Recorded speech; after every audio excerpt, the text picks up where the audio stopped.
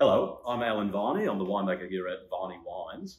Uh, you're joining me today in our cellar door uh, to talk a little bit about our trophy-winning uh, Grenache Mourvedre Touriga. It's a 2021 wine from McLaren Vale.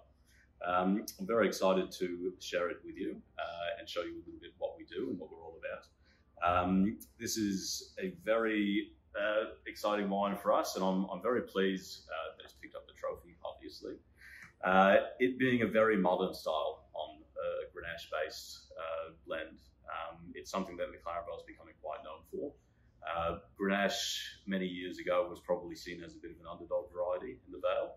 Uh, the greatest examples uh, have always been been there uh, from some of the leading uh, wineries around the place, but it's only recently uh, that's really been championed as a great variety, and we're finding some very interesting blending opportunities for it. Um, this one is blended with Mourvedre and Touriga uh, giving it a very modern, approachable, um, a bit of a lighter style uh, of, of, red wine. Um, again, fantastic for the warmer weather. On a 30 or 40 degree day, I think uh, this would certainly be a wine of choice in comparison to some of the traditional uh, bigger 15% alcohol Shirazes of the past. Um, so it's, it's fantastic to see that this, um, this style of wine is, um, I guess, getting the recognition uh, that it so truly deserves. Um, this wine being a little bit lighter on its feet, uh, with a bit of zippy acidity, uh, moderate tannin levels. Um, it's, it's very approachable. We even recommend throwing it in the fridge sometimes uh, on a warm day. It's a fantastic um, alternative red wine for summer. Uh, so certainly it's something you bring along to barbecues. It's something you might have down the beach even.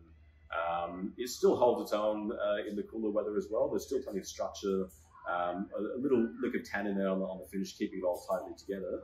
Um, but certainly it's a wine designed uh, to be enjoyed in its youth uh, and much more modern in its, in its take. Um, I've been making wine in McLaren Vale for well over a decade, about 15 years now.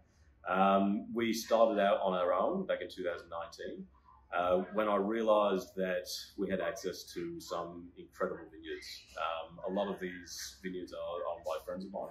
Uh, I've known them for years and years. I've worked at some of the, the big wave bridges of some of the big wineries in McLaren Vale and got to know them.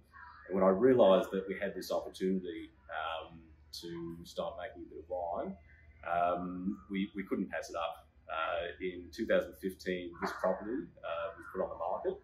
At the time, it was a derelict old barn. There was basically nothing but three limestone walls that you see surrounding us. And it took us a couple of years to get it up to scratch. Uh, a lot of renovation work was put into it. We had some very talented builders, um, but from the first time that we came here and came around the, the side corner and looked at the amazing view that you get, uh, we realised we'd be the perfect place for a cellar door. Uh, we've also got a restaurant here called Victor's Place, uh, and the two work really, really well uh, side by side together. Uh, so this space is actually shared as a cellar door and a restaurant. Uh, we've got an amazing group of chefs in the kitchen, led by executive chef Chris Bone, um, and it really allows us to showcase our together with the amazing food that he's creating. Uh, being here on the Fleurieu is just incredible. Uh, there's so much fresh produce. There's such an amazing community. There's so many like-minded craftspeople, um, all with such passion and dedication. Um, and visitors to the region all comment they just can't believe what an amazing community we have all working together. Um, head to the Willunga Farmers Market and you see, um, you know, half of the amazing, talented people um, that we have here on the Fleurieu. Uh, so creating that amazing um, experience here uh, with the fine dining options we have from our restaurant kitchen, together with the wine that I've created, um, I think it's it's a real um, it's an amazing experience which embodies McLaren Vale and the Fleurieu.